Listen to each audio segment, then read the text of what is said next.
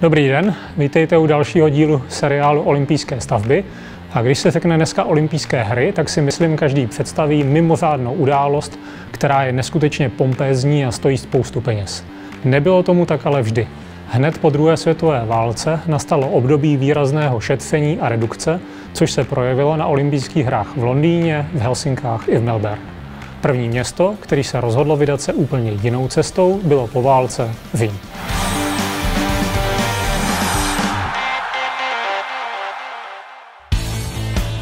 Toto mimořádně krásné historické město se pořádání olympijských her v roce 1960, myslím, zhostilo naprosto skvěle a nastavilo standard pro následující města. Řím se rozhodl využít faktu, že už mu olympiáda byla jednou přidělena, a to v roce 1940.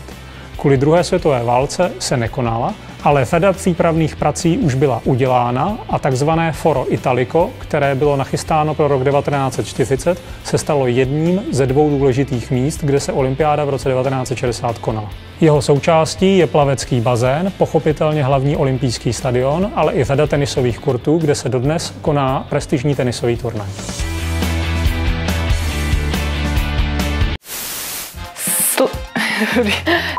Sleduj naše videa na Czech Team TV.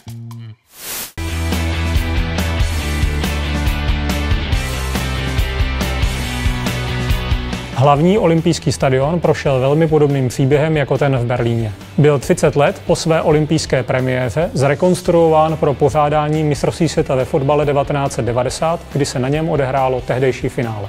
Dodnes slouží pořádání fotbalových zápasů a své domácí zápasy na něm hrají oba týmské kluby AS Roma i Lazio.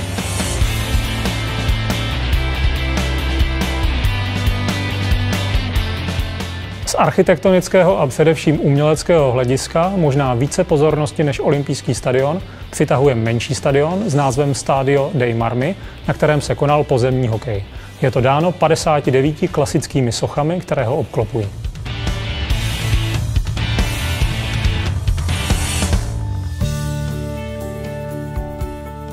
Druhým důležitým místem olympiády v roce 1960 byla takzvaná čtvrť eur, zkrátka znamená Exposizione Universale di Roma, neboli všeobecná výstava, která se měla konat v roce 1942.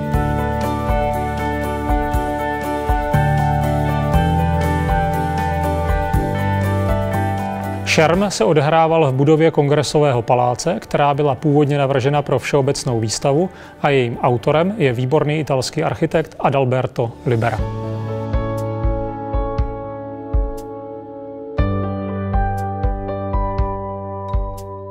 Autorem nejzapamatovatelnějších novostaveb římské olympiády byl geniální italský konstruktér Pier Luigi Nervi, který navrhl několik stadionů. Za mnou vidíte Palazzetto dello Sport, neboli nejmenší sportovní halu, kterou navrhl. Přitom je fantastická, nádherná a působí neskutečně monumentálním dojmem. Je to proto, že její konstrukce je skutečně odvážná.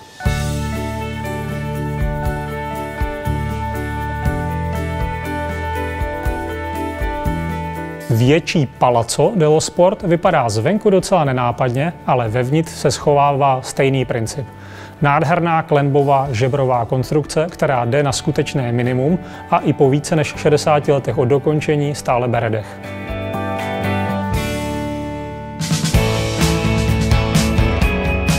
Kromě stadionů navrhl Nervy jednu infrastrukturální stavbu takzvaný viadukt Corso di Francia. Dneska by se dalo říct v podstatě zdvihnutý dálniční přivaděč. Jeho hlavní smysl ale spočíval v tom, aby pod ním bylo snadné projít a olympijská vesnice, která byla velmi zajímavá, nebyla rozpůlena na dvě nezávislé poloviny.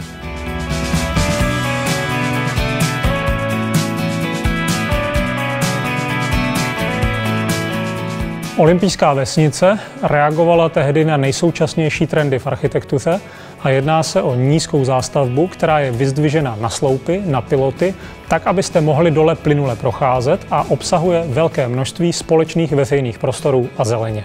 Pro nás není bez zajímavosti, že nejdůležitější veřejný prostor olympijské vesnice se dnes jmenuje Piazza Jan Palach.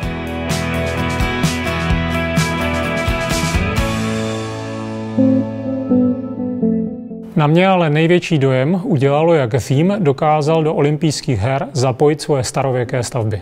Maratonci běželi část své tratě po legendární starověké Via Appia Antica, neboli po nejslavnější silnici všech dob, a maratonský vítěz Abebe Bikila, který se proslavil během bez bod, slavně zvítězil u Konstantinova oblouku.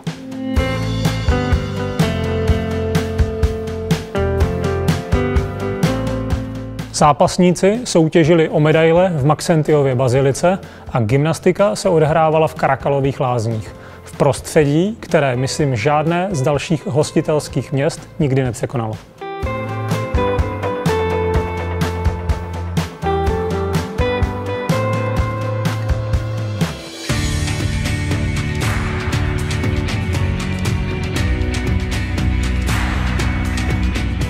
Organizátorům v Římě se myslím skvělým způsobem podařilo využít to, co už měli připraveno pro rok 1940, přidat nové krásné stadiony a zároveň využít i skvělé věci z jejich bohaté historie. Příště se poprvé vydáme do Latinské Ameriky a podíváme se, jak se s podobnými problémy a výzvou popasovalo Mexiko.